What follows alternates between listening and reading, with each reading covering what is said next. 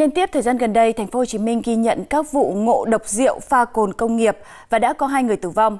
Các bác sĩ cho biết là có một nạn nhân tử vong chỉ sau 30 phút nhập viện. Điều này cho thấy là sự nguy hiểm của loại ngộ độc này.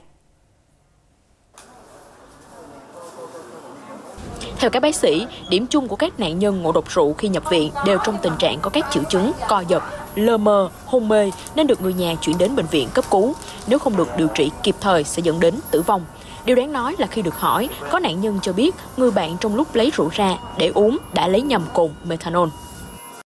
lấy nhầm cái, cái cồn cái bên đó xong nó gót đầy ca anh em uống uống uống xong rồi thấy cái, cái vị cũng giống hệt gì rồi đâu có để ý đâu Theo các bác sĩ, đây là điều vô cùng nguy hiểm. Bởi lẽ ra khi phát hiện nhầm phải ngay lập tức nhập viện để được điều trị, chứ không thể để đến lúc nặng mới đi cấp cứu. Hậu quả là hai người đã tử vong, các nạn nhân còn lại vẫn đang điều trị tích cực. Theo các chuyên gia về công nghệ thực phẩm, cồn methanol bị cấm sử dụng thực phẩm.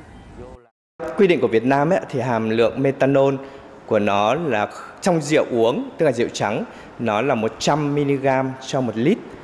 Ờ, nếu như mà người ta sử dụng với cái liều lượng vượt quá thông thường là khoảng 30 ml chẳng hạn, 30 ml methanol thì có thể gây ra chết người. 30 ml tức là nó tương ứng với khoảng là một ngụm Bên cạnh đó, không loại trừ khả năng rượu mà các nạn nhân sử dụng rất có thể là do người sản xuất cố tình pha vào vì chi phí sản xuất rẻ.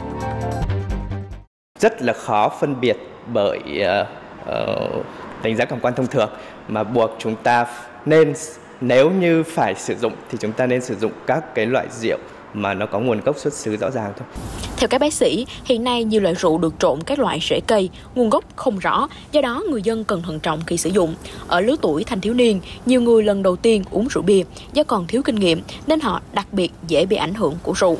Không hẳn phải ngộ độc methanol mới chết người, mà rượu ethanol nếu uống quá nhiều cũng xảy ra ngộ độc.